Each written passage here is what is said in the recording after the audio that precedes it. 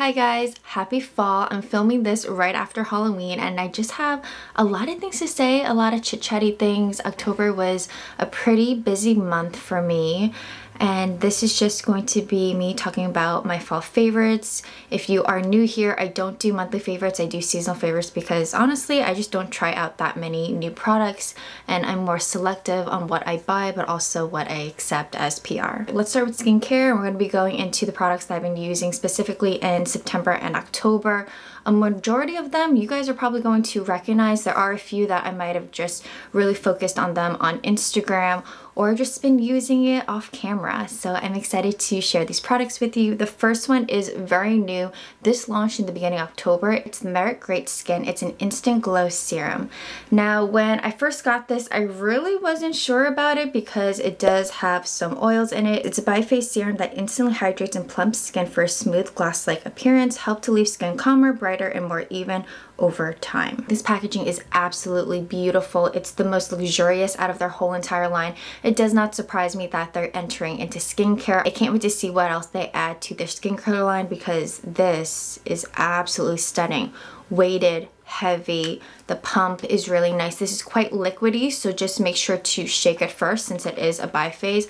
I only use one pump because that's all I really need. Mind you, I do have oily skin. And then I kind of just go right on in. Since it is liquidy and quite runny, you can make a bit of a mess, so just kind of rub it in quickly. So Merit did gift this to me, but I really do enjoy it, specifically for fall and winter when your skin is typically more dry. Now, if you have dry skin, you will probably need two to three pumps as suggested in their description. I do have a link down below if you guys are interested in this product or any other Merit products. I really do enjoy their products a lot. Majority of them are hits. There are a couple of misses. I've also done a full line review of their brand. At the time, I think they only had maybe five or six products, but I'll have that video right here if you guys are interested. See that nice glow? But it's not too greasy and slippery, which is what I was worried about. Ooh, I'm getting hot. Maybe I shouldn't have worn a sweater with all the lights. I just use this in the morning. I use some other products in the evening, like a retinol and just some more active products, but Look how pretty that is. My last two skincare products are these two. They are both moisturizers, but I use the Ole Henriksen one in the evening because it is a bit thicker. This is the Strength Trainer Peptide Boost Moisturizer. I wasn't sure about this one because it's in a jar and it's quite thick and it doesn't move but you need so little. This one is not the one that I'll be wearing today, but just to show you guys what that looks like. But then look, it just melts into the skin. Expecting it to be thicker and to stay on really thick, but then it just nicely shears out, which makes sense why they're calling it a moisturizer. I just don't typically use this as a moisturizer. More like a night cream, I guess you would say. And then for the day, I've been using this. This is the Alleyoop Dream Team 3-in-1 Moisturizer Eye Cream and Mask. I love the packaging. This is refillable, so you just twist the bottom makes it easier for traveling. And no messes. Just a light moisturizer, no fragrance, just very simple. You're gonna see a few other Alleyoop products. I did an Instagram Reels and I was talking about my favorite Alleyoop products and this was one of their newer products from them. These two complexion products I've been using quite a bit. This one is very new. This is the Summer Friday Skin Tint. I did a review of this, a wear test. If you guys want to see that, I'll have that video right here. I'm not going to be wearing it today since I want a little more coverage. Uh, this is more just bringing it back. I reviewed this earlier this year. This is the Jason Wu Tinted Moisture Meets CC Cream in shade 5. So this is like light coverage. This is sheer coverage. And I just like how this feels. And the shade match, surprisingly, is really good. As I put this on, I'm just gonna update you guys on what's been going on. So October was a busy month because we decided to host a murder mystery party. Never done that before, heard about them, and I'm someone that really gets into it, so I like to decorate. I'm not someone that does the bare minimum. But I don't really do that in life with anything, especially for like a party or an event. Because this was very new to me and no one else out of my friends have hosted a murder mystery party, all of it was like new, no idea what to expect or anything. So I was doing a lot of research and I found this company that does murder mystery parties, different themes, and there was a fairy tale theme, so we ended up doing that because it was the weekend of Halloween. I think I told everyone the beginning of October who confirmed. My friend from Florida, my mutual friend with my boyfriend, we met him uh, in, in college. He was supposed to come then the week of, he flaked. I hate flaky people, guys. I really do. And then another friend of mine flaked, and I'm someone where I will call you out, especially if you're doing something like that, because I just, I really don't appreciate that. I'm not someone who's passive like that at all. And I just want them to know how that made me feel and that actually really affects because this is not just a regular party by you flaking it affects everyone else. And honestly it affects the outcome of the party because let's say you are the murderer or the one that dies obviously affects everyone else. Luckily it did not affect the party thankfully because I was kind of contemplating because I was the host that I was like, well, maybe I just need to ruin it for me, figure out who the murderer is, figure out who dies, just to make it fun for everyone else. But I was like, you know what? We're just gonna figure it out the night of, and it's okay. It's not my fault at the end of the day. But it, turned out really well. I was the one that died. If you follow me on Instagram, then you probably saw not too long ago. There's like a picture of me on the floor in my living room. The killer a person you wouldn't expect. None of us was able to guess who the killer was. It was that hard. And of course, it was the character who was the most quiet, the more submissive.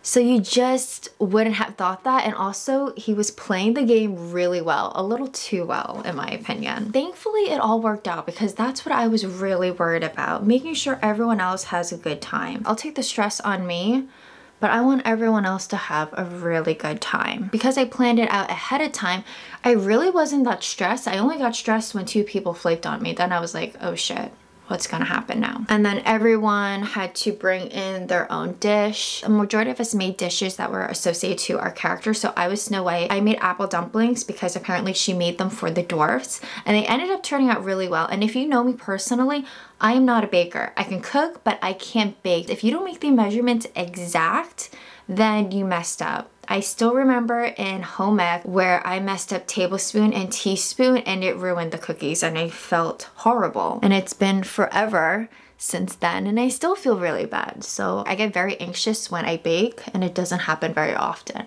And then this recipe, there were no pictures, there was no YouTube video, it was just words and I was like, oh my gosh, I have this, I have to worry about the party going okay so it was just, it was a lot going on. And then also with two puppies, you're always worried about how are they gonna do and whatnot. We decided to keep one at the house and the other one went to daycare. But the storylines went so well, just how the characters were because there were some couples at the party, but they weren't necessarily like Belle and Beast. One character from one storyline and then another one was from a different storyline, but they somehow intertwined so well where in their stories they kind of had something going on. And since one of my dogs was absent, she was the one that was missing and the storyline is all about how Cinderella is missing and Prince Charming is finding a new wife so he hosts this grand ball. It was really cute. I will have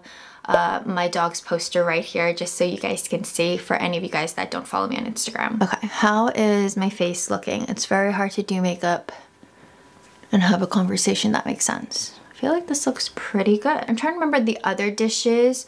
Oh, the gray stuff from Beauty and the Beast during the Be Our Guest scene.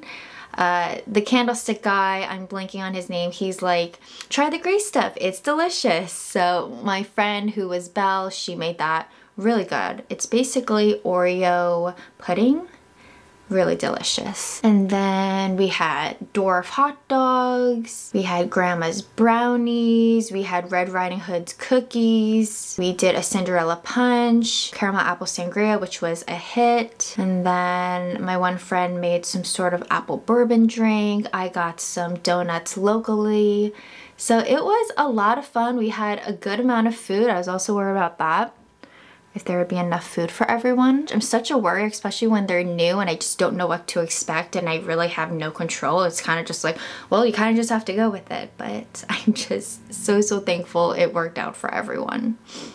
Oh, thank goodness. So that was for Halloween, the weekend.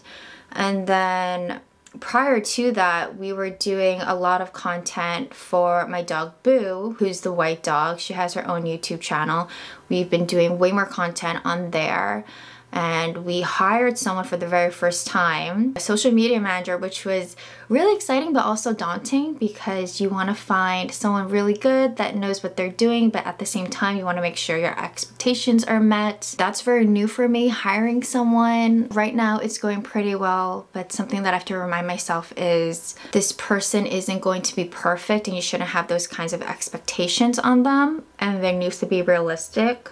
But the most important thing for me wasn't the amount of experience you had. It was more so how good is your communication because that's everything to me. That has taken up a lot of our time now that i have meetings with him and just making sure everyone is on the same page. So if you've been seeing more content from boo that is why. We have someone that's helping us with the editing because that was a big thing for me editing just takes so much time. This product is definitely going to be in my yearly favorites, which I'm excited to do. I think this time I'm going to try to do it a little bit earlier before Christmas, but we'll see. You guys are very familiar with this product. I haven't used it in quite some time. It's the Maybelline Instant Age Rewinder. It's a concealer. I have shade medium. I think back then I was using light, but I was looking at this I'm like, that's not that medium to me. I think this is quite light. Like look at that compared to the rest of my skin. I don't know why they think this is medium, but it works so well. I just wanted something that was drugstore. I haven't been too happy with concealers that I've been picking out. We'll get into it when I do a full-on review of this of this brand. I'm just not happy with it, but it's incredibly popular with everyone else. Just not me, I don't know. I can't seem to make it work. So For contour, I've been using the Alleyoop's Stack the Odds. Now it has a blush, contour shade, and a highlighter. I've been primarily using the contour shade and the highlighter. I've also been using the blush. This blush in particular is more of a peach shade, but I want to show you guys a different blush that I've been enjoying. Very creamy and easy to blend. What else has been going on? I just got my couch cleaned professionally. I don't know if you guys have ever done that before. It's actually not that bad and not that expensive. For my couch, it can fit three people. It's a sofa sleeper. It's a, probably it's a cotton blend. It only costed 250 bucks, which is not bad for a couch that I've had for many years.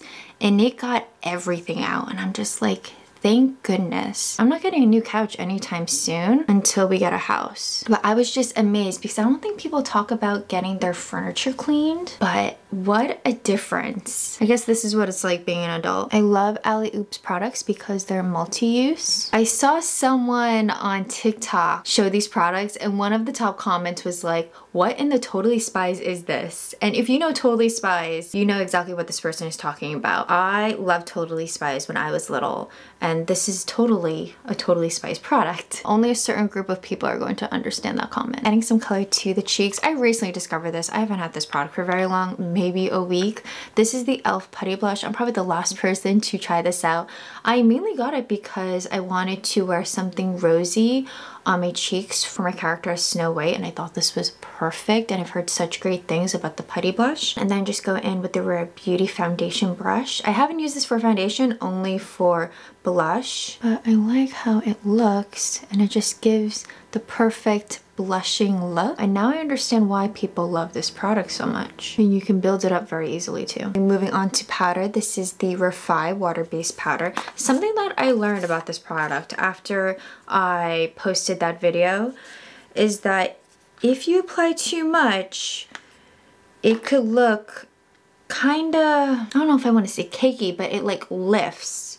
So less is more with this product. Sometimes I can go heavy handed, but what I just did there, then I don't add any more. Not gonna give you any coverage, it's just going to set the makeup and that's about it. So if you're looking for coverage, I would go with something else. But if you want something that feels like nothing on the skin, check this one out. My skin looks so good. Sometimes after powder, I feel like I lose a bit of the blush, so I'm just gonna go back in and apply a little bit more. This brow product I've been using non-stop. It's from Patrick Ta. It's the Major Brow Lamination Gel. This works so well. I do have a drugstore option that I really enjoy that I recently just talked about, but I felt that that was a little too soon for fall favorites, so I will most likely be including that in my winter favorites. Filled my brows off camera because it's nothing new. It's just something that I've had in my collection for some time.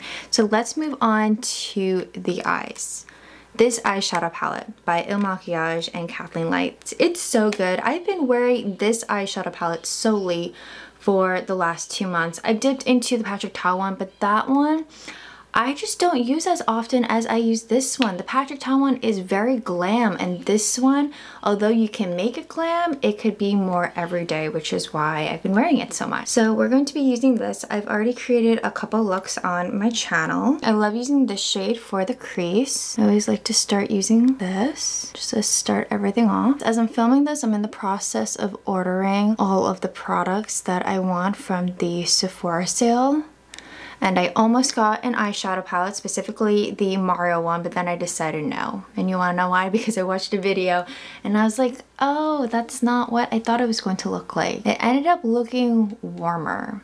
And you know what? I saved, what, 60 something bucks? But it looked beautiful on social media, but then once I saw the video, I was like, eh, I'm okay. So I don't think I'm gonna be getting an eyeshadow palette this year, at least not a big one of this size. At least not for the holidays. Maybe not this year because I, I definitely got some new ones but not for the holidays. Should I do something boring or should I spice it up a bit? Because I always, as far as like every day, use these and these. So I tend to stay right here.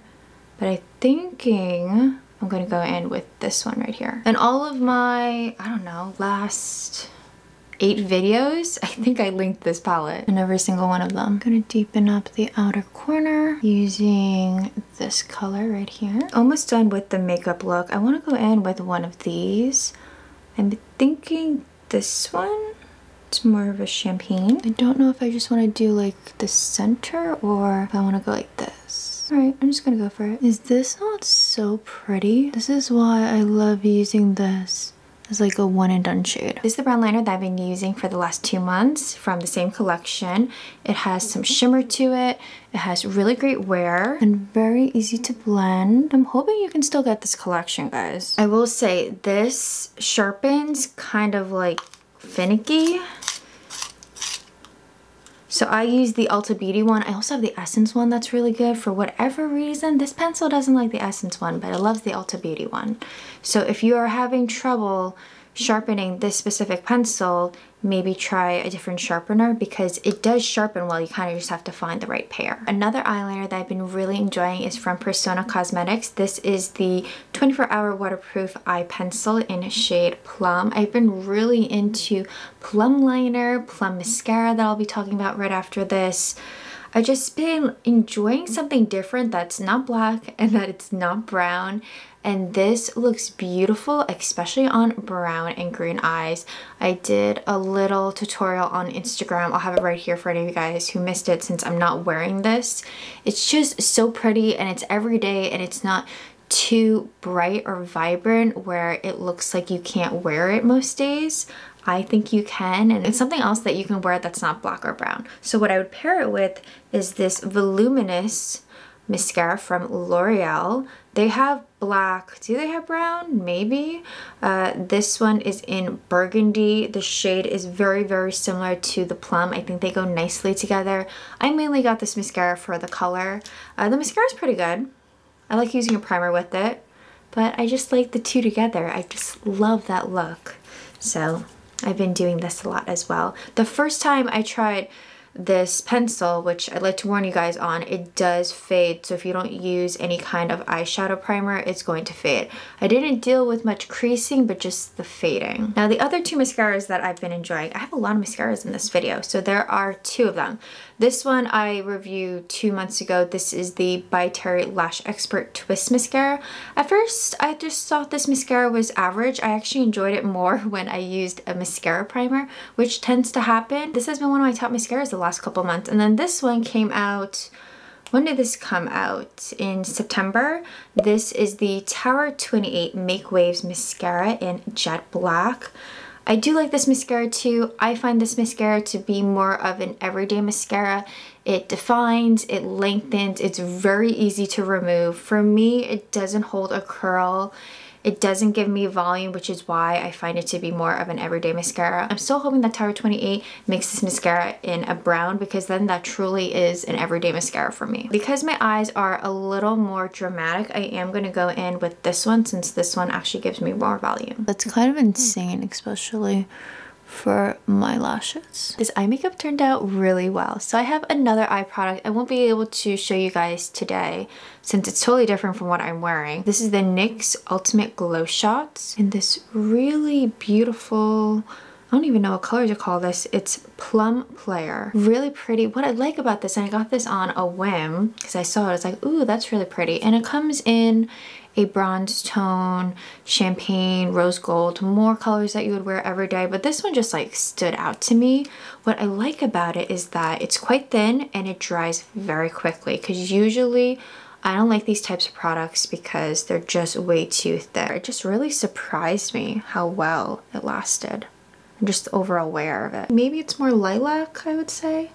But if you are into kind of like a one and done look, definitely check these out. Before we move on to lips, I am going to add some highlighter from Stack the Odds. It's just like a champagne tone. The last products are the lips. It's basically what I've been talking about. So whether it's the brown lip glosses, the dupes from the Fenty Heat, I have two dupes right here. Both are really great. Also just been using the original one. Not sure what I'm going to be doing today. And then brown lip liner. Right now in my hands, I have the Juvia's Place in Cola. And then this one that I've had for a minute, it's not brown. It's an LA Girl lip liner in Cafe. This is kind of like a nudie beigey tone. This is my go-to when I go for something nude that doesn't wash out my lips. And then this, which is so much fun. You get three lip products in one and I like how they're mini. You're actually going to get through all of them. So we have three different finishes. We have a cream, we have a gloss, and we have a matte. They are ever so slightly different, so they're not all the same. So I don't know, should I use this or should I do something else? Mm, maybe not these. If you're curious how these look, definitely check out my Instagram. I don't know if I want such a dark brownie look. So maybe I will do the LA Girl one as my lip liner. Then I think I'm gonna go in with the Honest Beauty Gloss since that's not as dark. I don't want this video to be too redundant so definitely check out my hair care routine video because that's where I talk about my current favorite hair products and those are the products that would have been in this video and I've also talked about those products in a vlog. I've talked about those products in another video. So I have maybe three four videos where I talk about my favorite hair products. So definitely check out those videos. But one product that I want to talk about today is the Revlon One Step. So we're all familiar with this one but they just came out with the blowout curls that I've been really enjoying. Unfortunately I'm not wearing it today but I did blow out my hair using this.